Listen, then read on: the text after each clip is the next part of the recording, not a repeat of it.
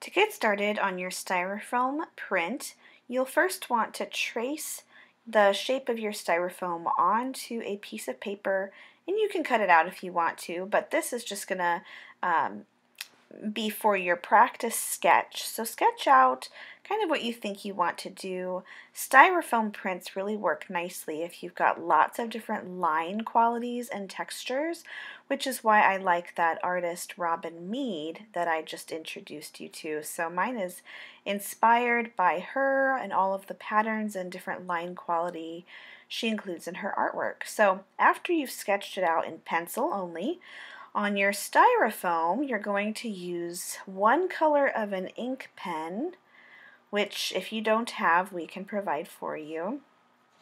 And um, draw that in. Now you want to press pretty firmly when you're drawing your design in because wherever you make an impression into that styrofoam, that is what's going to print later and it will show up as white on your print.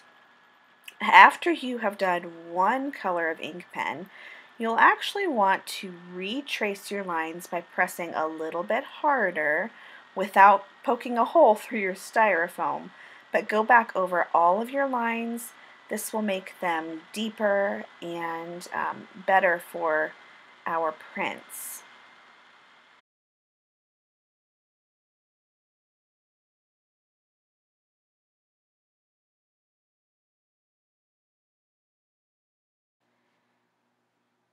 So after all of your tracing is done, you're going to use Crayola markers because they are water soluble. You do not want to use permanent markers for this step. But you're going to go in and color the whole printing plate. So go um, around all of your lines and really try to get a good layer uh, without leaving any bald spots of the marker and um, that will really help the prints have a nice vibrant color later on. And I'm not going to show you the entire coloring of this, um, but go ahead and use the markers and color your whole print. Okay, so you can see I have uh, my whole print colored in with marker and I made sure to color it really well so I won't have any um, bald spots later on. And we're ready to do our marker print. So um, these prints are kind of temperamental. You really only get one good shot at it. And then after that, um, if it doesn't work, you just kind of have to start all over with marker again, which really is no big deal. It's just time consuming. So on your paper, I want you to write your name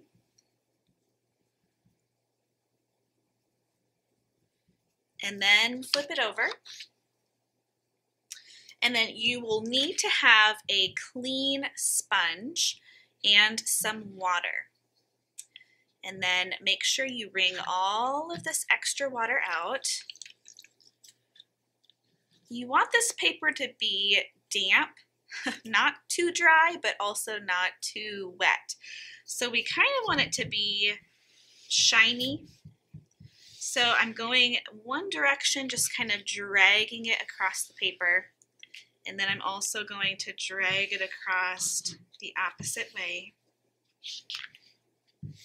And working quickly while the paper is still damp, but not too dry, not too wet, I'm going to quickly take my print, oh, I need to turn it this way, and try to place it in the middle and once it's placed down, I need to keep it in that spot because if I try to re, um, reposition it, it's going to get all messed up. So rubbing on the back side.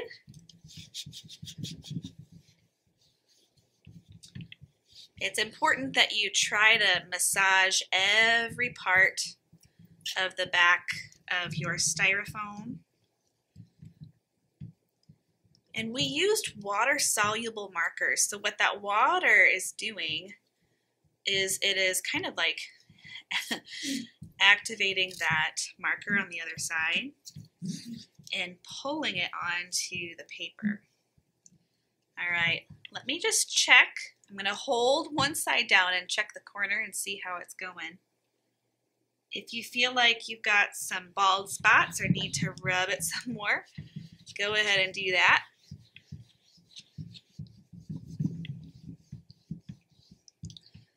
And fingers crossed, say a little prayer.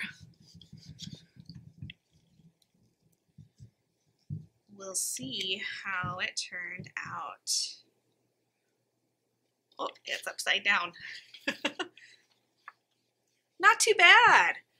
Um, I do think that my paper could have maybe been a little bit more wet from the sponge because if you look closely, it looks a little bit speckly, but no big deal. All you need to do is just recolor this one with the markers and try again. So try to do at least two prints um, with markers and um, you'll turn in the one that you like the most out of those two.